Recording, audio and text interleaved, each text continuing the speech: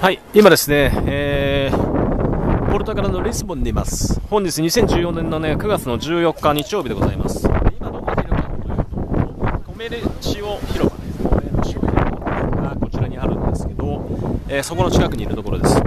で、こっちは川になってるんですけど、海みたいなんですけどね、これよく見るとね。これ川です。川の河口です。向こうが上流の方かな。河口になってて、えー、定所川っていう川なんですけどね、ここのところにいるところです。海みたいですよね。